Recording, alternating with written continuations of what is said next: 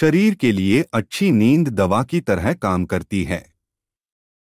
अगर आप नींद में कमी कर देंगे या फिर रोज़ाना नींद पैटर्न में बदलाव करेंगे तो शरीर को रिलैक्स नहीं मिल पाएगा और आपको शारीरिक के साथ ही मानसिक समस्याओं का सामना भी करना पड़ेगा।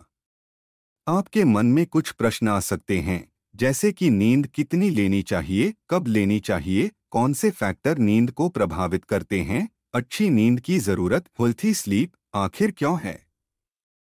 अगर आप उन कई रातों को काम करते हैं, जब आपको सोना चाहिए था तो जल्दी ही आपका शरीर नेगेटिव इफ़ेक्ट दिखाना शुरू कर देगा। नींद न पूरी होने से न केवल आप थकावट, तनाव, चिड़चिड़ापन महसूस करेंगे, बल्कि आपको कई गंभीर समस्याओं का सामना भी करना पड़ सकता है। पर्याप्त नींद इनफ स्लीप न मिल पाने के कारण हमें इन बीमारियों का सामना करना पड़ सकता है।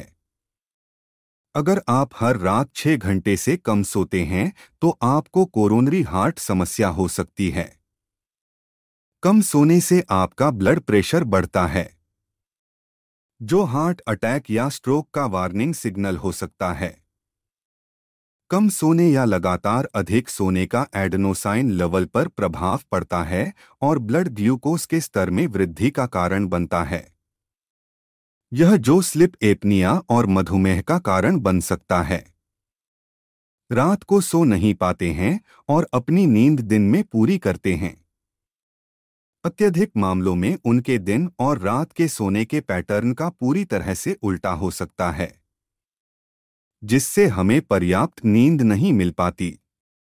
अल्जाइमर से पीड़ित लोगों को अक्सर रात को पर्याप्त नींद लेने में कठिनाई होती है। जानिए रात की पूरी नींद, इनफ स्लीप पाने के लिए हम क्या कर सकते हैं। अगर आप दिन में सोते हैं तो आपको रात में पर्याप्त नींद आने में परेशानी हो सकती है, इसलिए अपनी दिन की नींद में कटौती करें। आप सोने से पहले आराम और खुद के लिए समय निकालें। नींद से पहले गुनगुने पानी से स्नान, कोई किताब पढ़ना या कोई अच्छा म्यूज़िक सुनना आपको अच्छी नींद में मदद कर सकता है। अगर आप रोज़ाना एक ही समय पर सोते हैं और रोज़ाना इसका पालन करते हैं तो इससे आपको रोज़ाना सही समय पर सोने और आराम मिलने में मदद मिलेगी। यही नहीं आपको पर्याप्त नींद इनफ स्लीप के साथ ही साउंड स्लिप भी मिलेगी। सोने के एक घंटे पहले तक स्मार्टफ़ोन कंप्यूटर और टीवी का प्रयोग न करें। इस तरह की डिवाइस एक नीली रोशनी का उत्सर्जन करती है, जो नींद के हार्मोन मेलाटोनिन को दबा देती है। जिससे पर्याप्त नींद इनफ स्लीप में समस्या आती है। शांत वातावरण में सोना आपकी नींद की गुणवत्ता क्वालिटी स्लीप को सुधारेगा। इसके लिए सुनिश्चित करें कि आपका बिस्तर आपको सही सपोर्ट आराम और स्पेस प्रदान करें। इसके साथ ही आपके कमरे का तापमान सही होना चाहिए। दूध, चिकन, सब्ज़ियाँ और फल आदि। इनमें रसायन ट्रिप्टोफैन और सेरोटोनिन होते हैं, जो मेलाटोनिन के उत्पादन के लिए महत्वपूर्ण हैं, जो हार्मोन नींद को बढ़ावा देता है। सोने से पहले कॉफ़ी, शराब और अधिक मात्रा में भोजन का सेवन नहीं करना चाहिए।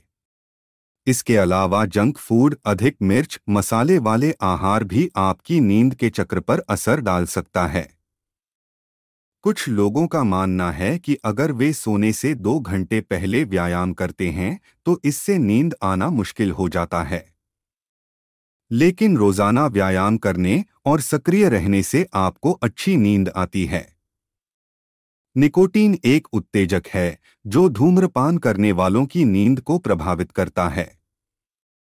जितना अधिक आप धूम्रपान करते हैं, उतनी अधिक संभावना है कि आप अनिद्रा का शिकार हो सकते हैं।